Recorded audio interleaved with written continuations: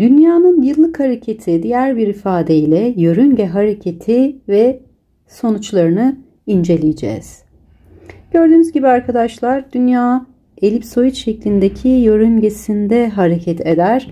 Dünya yıllık hareketini elips şeklindeki yörüngesinde hareket ederek 365 gün 6 saatte tamamlar. Bu 6 saatte 4 yılda bir gün yapar. Bu günün eklendiği yıla artık yıl denir. Bu yıllarda Şubat ayı 29 gün sürer. Dünyanın yörünge hareketi sonucunda arkadaşlar ilkbahar yaz, sonbahar kış mevsimlerinin yaşandığını görüyoruz. Dünya 3 Ocak'ta Güneş'e en yakın konumundayken 4 Temmuz'da Güneş'e en uzak konumuna ulaşır. Dünyanın Güneş'e en yakın olduğu tarihe günberi perihel, en uzak olduğu tarihi ise gün öte afel diyoruz. Yıllık hareket sırasında 21 Aralık, 21 Mart, 23 Eylül ve 21 Haziran durumlarını yaşıyoruz.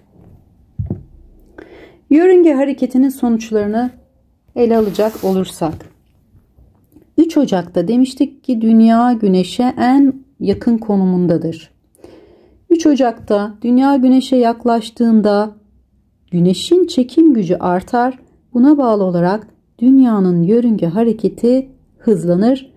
E, dünya yörünge hareketini hızlandırırsa o zaman Şubat ayı 2 gün kısalır. 28 güne iner. İşte Şubat ayı neden 28 gün sorusunun cevabı aslında dünyanın güneşe yaklaşmasından dolayı hızının artmasıdır. Bu nedenle 2 gün kısalıyor yörünge hareketimiz. 4 Temmuz'a gün öteye baktığımızda Apel dünya güneşe en uzak konumundadır. Uzaklaştığı için güneşin çekim gücü azalır ve dünyanın yörünge hareketi yavaşlar. Bu sefer yavaşladığı için gün sayısı artacak. Sonbahara 2 gün geç girilir 23 Eylül'de. Dikkat ederseniz arkadaşlar diğer tarihler 21 Mart, 20, 21 Mart, 21 Haziran ve 21 Aralıkken Eylül ayı yani sonbahara 2 gün geç girdiğimiz için 23 Eylül'de başlar. İşte dünyanın yaklaşıp uzaklaşması neyin sonucudur? Yörüngesinin şeklinin sonucudur. Dünya güneşe yaklaşıyor, uzaklaşıyor. Dolayısıyla mevsim süreleri de eşit olmuyor. Elips şeklindeki yörüngenin sonuçlarına baktığımızda mevsim süreleri eşit değildir. Temmuz-Ağustos ayları 31 günden oluşur. Şubat ayı 28 güne düşer. Sonbahara 2 gün geç girilir 23 Eylül tarihlerinde. Bu neyin sonucuymuş? Dünyanın yörüngesinin şeklinin sonucudur. Peki hocam dünya güneşe en yakın 3 Ocak ama neden o zaman sıcak değil dünyamız diye soracak olursanız dünya güneşe en yakın konumdadır ama eksen eğikliği sonucu güneş ışınlarını büyük açılarla alırız biz. Eksen eğikliği sonucu o tarihlerde güneş ışınlarını iyi açıyla alan güney yarımkürededir. Güney yarımküre yazı yaşarken biz kış mevsimini yaşıyoruz. Güney yarım kürenin yaz ayları kısalırken bizim de kış aylarımız iki gün kısalmış oluyor. Yani güneş ışınlarının geliş açısının güneşe yakınlıkla alakası yoktur. Eksen eğikliği ile alakası vardır. Aşağıdakilerden hangisi dünyanın yörüngesinin elips şeklinde olmasının sonuçlarından biri değildir? A.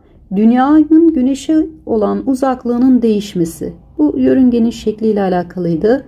3 Ocak'ta yaklaşıyordu. 4 Temmuz'da en uzak konumuna ulaşıyordu. Dolayısıyla elips şeklindeki yörüngenin sonucudur. Eylül ekinoksunun gecikmesi elips şeklindeki yörüngenin sonucu. Dünyanın yörüngedeki hızının değişmesi sonucudur.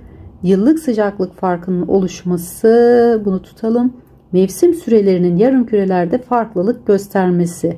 Mevsim süreleri eşit değildir. Burada hızlandığı için bizde kış ayları kısalır.